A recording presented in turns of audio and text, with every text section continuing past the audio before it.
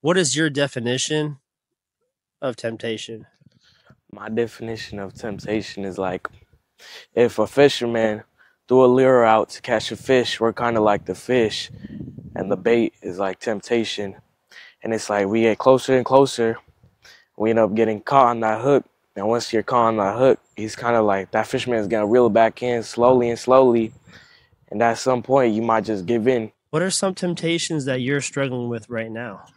Right now, I'd probably say um, just getting out of listening to worldly music. That's that's a big one for me.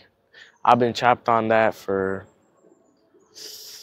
a long time now, and I've been trying to get out of the habit of listening to that music. But it's just so hard because it's like like the bait. It feels so enticing in the moment. Like it feels so good to listen to it, but after, like once you're done listening to it, it's kind of just like dang, like it don't feel good after, you know.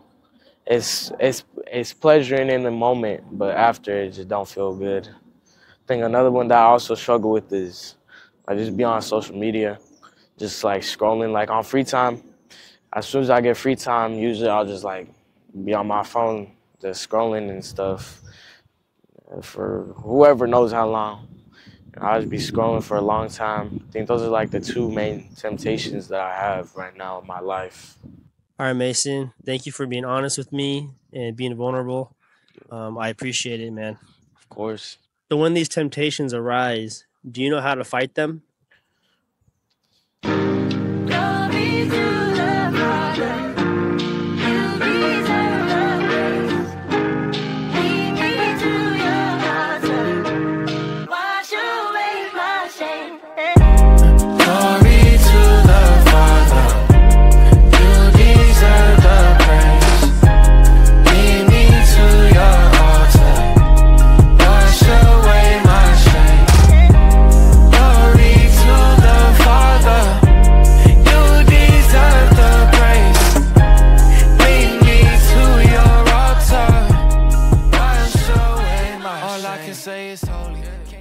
No matter how strong or mature of a Christian you are, you will eventually be tempted.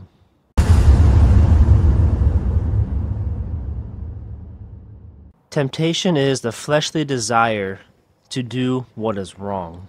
It is also a trial in which a man or woman faces, where they're left with the opportunity to either be faithful to God or unfaithful to God.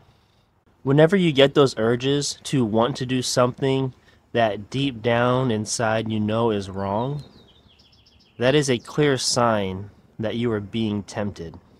And temptation, if not dealt with properly, causes us to sin, and sin eventually leads to death. I'll start by saying that feeling tempted is not a sin. James 1:15 says this: Then, after desire has conceived, it gives birth to sin. And sin, when it is full grown, gives birth to death. So this verse is saying that when you're actually in the act of doing it, now it is a sin. God will not cause you and lead you to sin.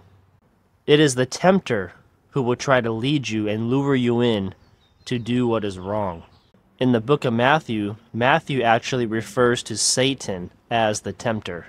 And one of Satan's primary weapons against you is temptation, dating all the way back to his first encounter with humans in the Garden of Eden. The first story that we're going to talk about today is the story about Joseph and Potiphar's wife. So in Genesis 39, it talks about Joseph was sold off into slavery by his jealous brothers. And when he was in Egypt as a slave, Potiphar, a captain under Pharaoh, bought Joseph as a slave. And you see, God's favor was always with Joseph. Joseph was a man that was seeking after God. And Joseph was a man that favored God, right? And God favors those who favor him. So even though Joseph was sold off into slavery, God was with him. And when he was working as a servant under Potiphar, Potiphar's household became blessed. The house would flourish, the fields would flourish. Potiphar could tell that this guy Joseph was anointed by God. Potiphar actually liked Joseph so much, treated him like his own son, and he entrusted everything to Joseph. But the trial and the story that arises is Potiphar's wife. See, in the scriptures, it talks about Joseph was a tall, well built, handsome man. And Potiphar's wife could not keep her eyes off of him. Matter of fact, Potiphar's wife tried many times to pursue Joseph, and Joseph would turn her down. Bye, Felicia. But one day, when nobody was in the house besides Potiphar's wife and Joseph, this is when Potiphar's wife caught Joseph by surprise, grabbed him by his garments, and said, Lay with me. We care for you here. We. I feel you are special. What? So now Joseph is left in the situation where he has the opportunity to either remain faithful to God and remain a faithful servant to Potiphar, or to give in to the pursuit of Potiphar's wife.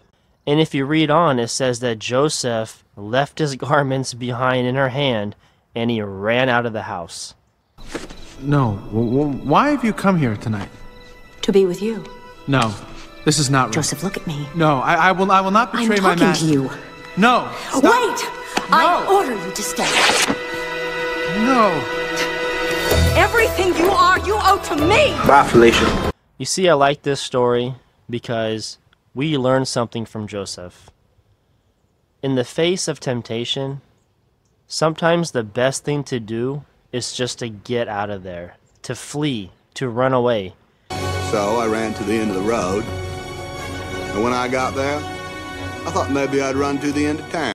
Remove yourself from that situation. You see, oftentimes we stay in that situation. Oftentimes we don't remove ourselves. We stay there, we let the thoughts fantasize, we entice the thoughts, and eventually it causes us to sin. But in this story, what I really wanted to pull from this is that when you're in temptation, the best thing to do sometimes is just run. Just get out of there. Maybe you're somewhere where you shouldn't be, and you know that if you stay in that place, it may cause you to do something that you're going to regret, or it may cause you to sin. Honestly, the best thing that you can do in that situation is just leave. Leave before the temptation becomes too strong to bear. Sometimes when I think about that story, I become really hard on myself because, man, if I'm being honest, if I'm not in my right mind and if I'm not actively seeking after God, if I'm not in my word, if I'm not in my worship, if I was caught lacking spiritually, I feel like there's a good chance that I would have fell for that temptation. But Joseph showed great restraint. Joseph knew his mission, he knew his purpose. He knew that God had greater things and greater rewards that were laid ahead of him. And a lot of times we just have to trust that God has greater things for us. Whatever sin or temptation that we're dealing with, that we're struggling with, in that moment you may think that that's what you want right now, but that's a lie. That's not really what you want. The reward that God has for you when you resist temptation is so much greater than what the world is going to give you. So remember, if you feel like you're being tempted, just get out of there. Another story in the Bible that I want to talk about where Jesus Christ himself is being tempted by the devil. So Jesus was led by the Spirit into the wilderness to fast for 40 days and 40 nights. Jesus did this so he can hear from God, so that the angels can minister to him. And oftentimes that's why we fast, is so that we can hear a word from God, you know, or he can reveal something to us. Fasting is another form of walking in the Spirit. So, towards the end of Jesus' fast, he was very hungry, walking in the desert with pretty much nothing to eat, very little water. Jesus was hungry. And the tempter, Satan, came to him and tried to get him to break his fast. And he said, If you are the Son of God, command that these stones become bread. But Jesus answered and said, It is written, Man shall not live by bread alone, but by every word that proceeds from the mouth of God. Then the devil took him up into the holy city, set him on the pinnacle of the temple, and said to him, If you are the Son of God, throw yourself down, for it is written, He shall give his angels charge over you, and in their hands they shall bear you up, lest you dash your foot against a stone. Jesus said to him, It is written again, You shall not tempt the Lord your God. Again the devil took him up on an exceedingly high mountain, and showed him all the kingdoms of the world and their glory. And he said to him, All these things I will give you, if you fall down and worship me. Then Jesus said to him, Away with you, Satan, for it is written, You shall worship the Lord your God, and him only you shall serve. Then the devil left him, and behold, angels came and ministered to him. You see, the tempter is very clever. He knows your triggers. He understands how to get you to fail. You see, Jesus was hungry. Imagine fasting for 40 days and 40 nights with no food. Jesus was obviously hungry. And Satan came and tried to tempt him to turn stone into bread because we all know that Jesus can do that. Right? He's done it before with the 5,000 with just five loaves and two fish, and he was able to feed a multitude of people. But in the midst of temptation, what does Jesus do? He fights back Satan with Scripture. A lot of the times, one of the most important tools and weapons that you have is Scripture. In the face of temptation, you need to remember Scripture. There's a reason why they call the Bible a sword, why they call the Word of God a sword, because it is our weapon against the enemy. When the enemy comes to tempt us, when the enemy comes to lie to us, we use the Word of God to fight back against the enemy. Hebrews 4:12 says, "For the word of God is quick and powerful, and sharper than any two-edged sword." Jesus shows us that scripture is very powerful and that you can use it to fight against temptation. And if you don't know any scripture off the top of your head, maybe this would be a good time when you go home. Find some scripture that is really meaningful to you and try to remember that scripture by heart because you never know when you may need to use it. Another strategy when overcoming temptation is to simply call a friend or someone that you trust. Ecclesiastes 4:12 says, "Though one may be overpowered by another, two can withstand him, and a threefold cord is not quickly broken."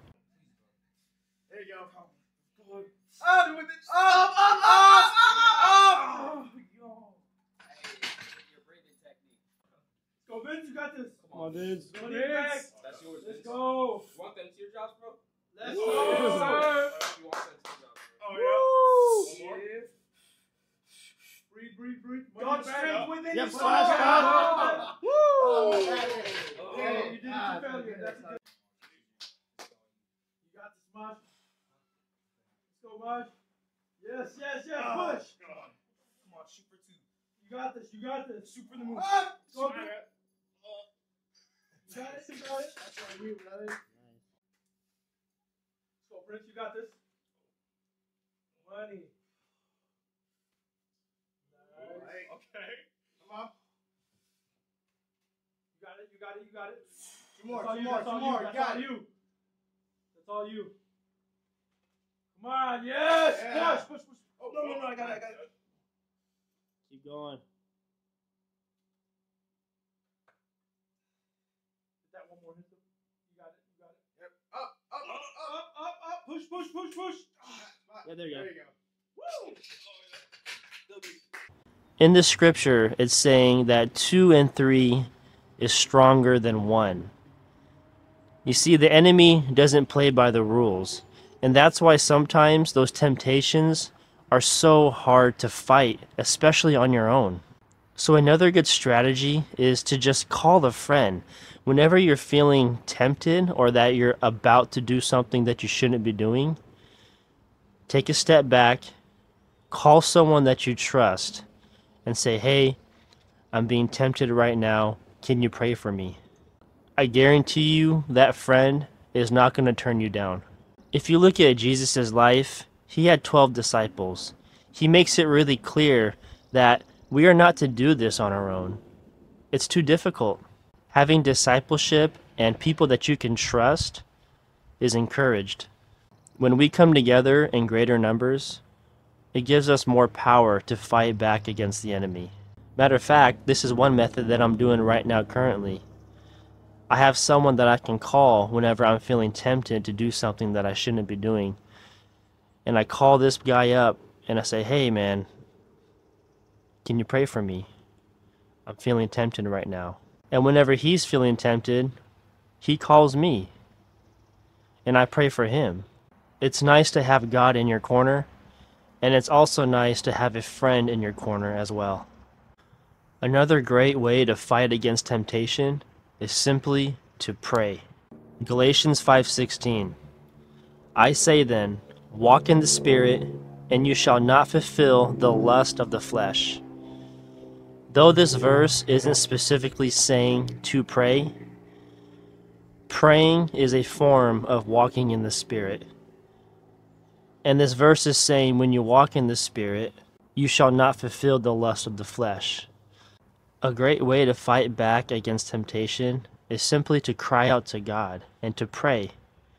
And if you don't know what to pray in that moment, just say these three simple words God, help me. Sometimes you feel too overwhelmed by your fleshly desire, and you feel like, well, I'm just going to do this. There's no way out. But take a deep breath, and in that moment, just say a prayer. Even if you say it under your breath, just say, God, help me. I'm being tempted right now. Take me away from this. Remove this desire. God always provides you a way of escape.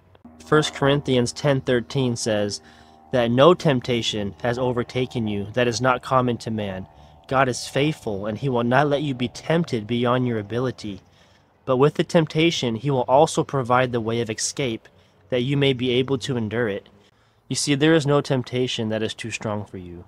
God will not let you be tempted more than your ability, and he always provides a way of escape. Alright guys, so if there's five points that I want you to take away from this video, these are the five. Number one, flee, run away.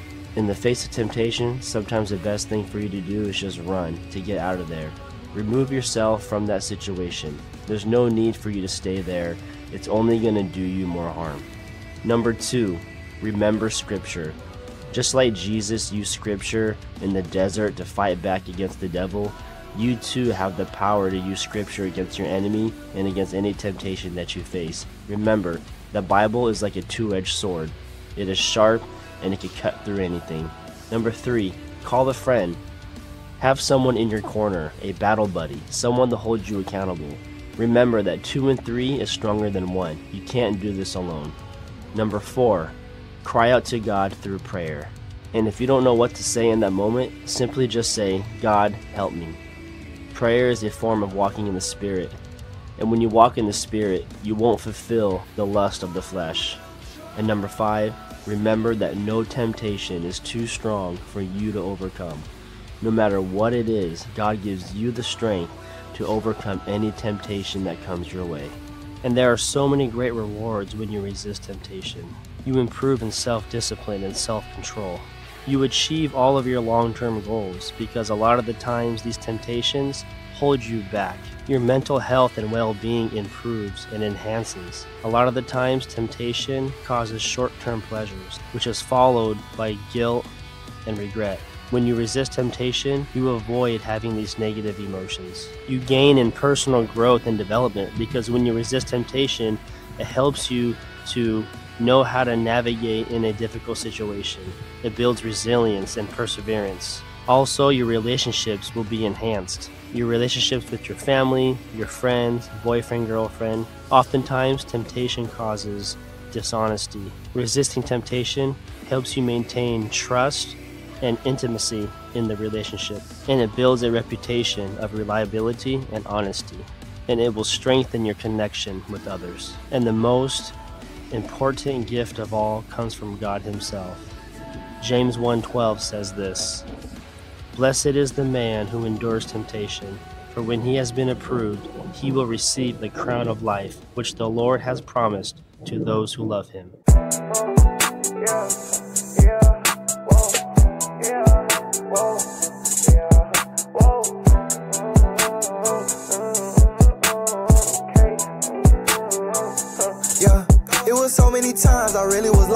Asking the Lord, which way do I walk? I felt convicted, I used to live deep in that sin. My life was just really the cost. And I ain't even saying I'm perfect, but all of the bad in my life had to just knock it off. And the way that I'm living is cause I got G-O-D with me, so start asking me what's the sauce. Yeah, I won't say I don't be tempted, but I fight it with prayer, I'm never gonna lose. I can do stuff that I've been did. If I think about the past, then I'm never gonna move.